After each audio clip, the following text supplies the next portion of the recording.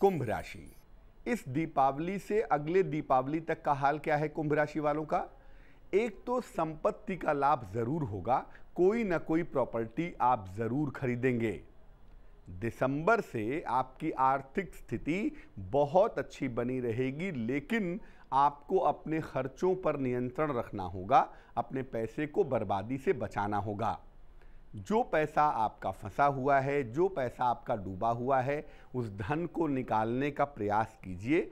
अन्यथा इसके बाद ये मौका शायद नहीं मिलेगा। दीपावली के दिन भगवान गणेश को दो हल्दी की गांठें आपको चढ़ानी हैं और इन हल्दी की गांठों को अगले दीपावली तक आपको अपने पास रखना है ताकि धन की कोई मुश्किल, फाइनेंशियल कोई क्राइसिस आपको परेशान ना करे।